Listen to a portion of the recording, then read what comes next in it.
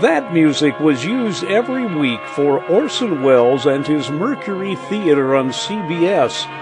And during Halloween in 1938, they did a radio adaptation of just another book in their series, one by H.G. Wells, The War of the Worlds. And Orson Welles wasn't even 24 years old yet. We know now that in the early years of the 20th century, this world was being watched closely by intelligences greater than man's, and yet as mortal as his own.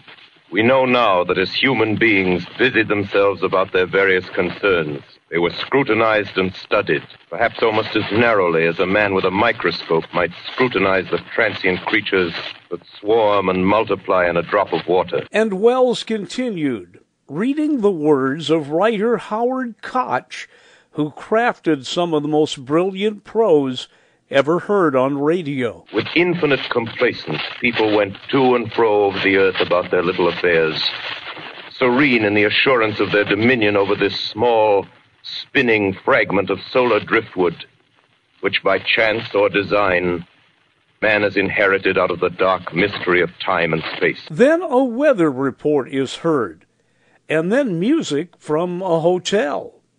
It's interrupted by a bulletin that something has hit the ground near Grover's Mill, New Jersey. At the same time, there are reports of some type of gaseous disturbances on Mars.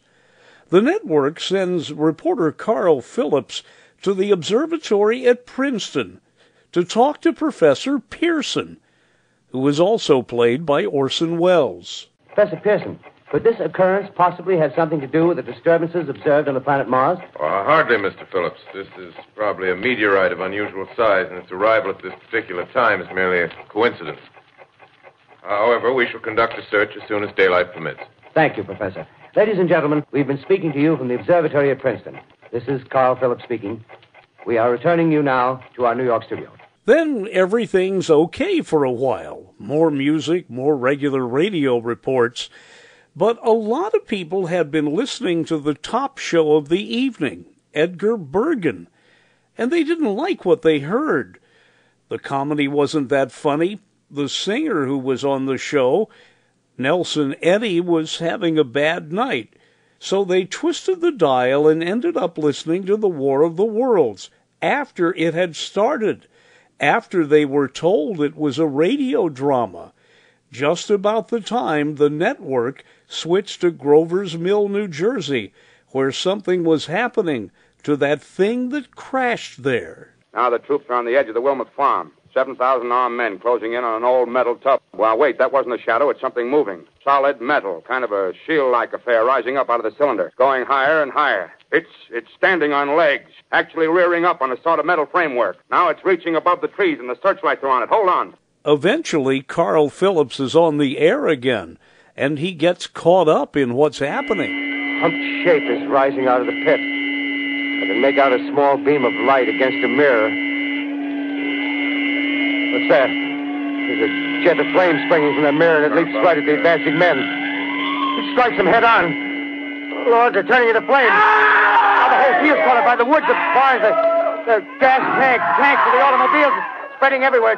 Coming this way now, about 20 yards to my right. At this point, there is the first of several long, quiet pauses for effect. And before we find out what happened to reporter Phillips, there are reports coming in from Washington, including one from a government official who sounds a lot like FDR. Citizens of the nation, I shall not try to conceal the gravity of the situation that confronts the country nor the concern of your government in protecting the lives and property of its people. Then the network announcer is back with the news no one wanted to hear. Ladies and gentlemen, I have a grave announcement to make. Incredible as it may seem, both the observations of science and the evidence of our eyes lead to the inescapable assumption that those strange beings who landed in the Jersey farmlands tonight are the vanguard of an invading army from the planet Mars. Eventually, the network begins broadcasting from the roof of its own building, where a reporter is describing the advance of the Martians and gas coming his way And he's overcome. This is the end now. Now the smoke's spreading faster. It's reached Times Square. People are trying to run away from it, but it's no use. They, they're falling like flies. Now the smoke's crossing 6th Avenue, 5th Avenue. Uh, a hundred yards away. It's, it's 50 feet.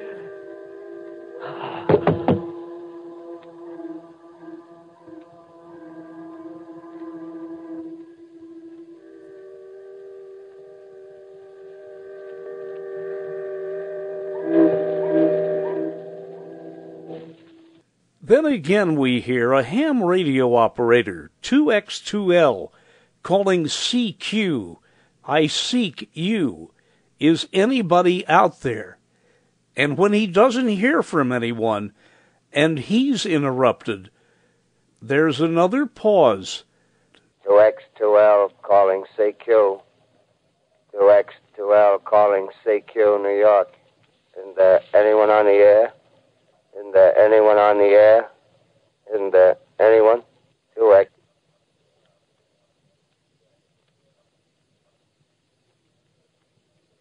You are listening to a CBS presentation of Orson Welles and the Mercury Theater on the Air in an original dramatization of The War of the Worlds by H.G. Wells. In the second half of the drama, Professor Pearson returns. He's roaming around trying to see if anyone else is alive. I venture from the house. I make my way to a road, no traffic. Here and there, a wrecked car, baggage overturned, a blackened skeleton. Push on north. For some reason I feel safer trailing these monsters than running away from them. Professor Pearson encounters another survivor, but he wants to take over the world.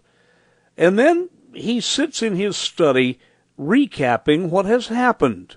Ah, strange it now seems to sit in my peaceful study at Princeton, writing down this last chapter of the record, begun at a deserted farm in Grover's Mill. Strange to watch children playing in the streets. Strange when I recall the time when I first saw it. Bright and clean cut, hard and silent under the dawn of that last great day.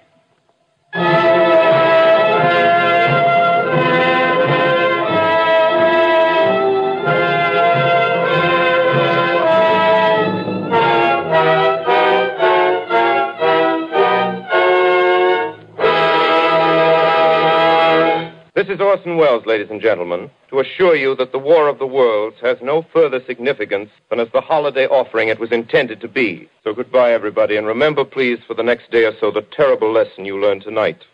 That grinning, glowing, globular invader of your living room is an inhabitant of the pumpkin patch, and if your doorbell rings and nobody's there, that was no Martian. It's Halloween. It was simply a dramatization of yet another book, but it was done so well and so believably that a lot of people were scared to death. And it is remembered as the most memorable broadcast in the history of radio. And it was all done live. The music was by Bernard Herrmann and the words, as I mentioned, were those of Howard Koch, who would later go on to write the movie Casablanca. Have a great Halloween. I'm Dennis Daly.